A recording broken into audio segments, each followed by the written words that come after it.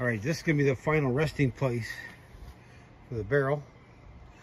As soon as I get the roof done, then we're gonna have the eave trough go down into, run down into here, and our spigot on the bottom.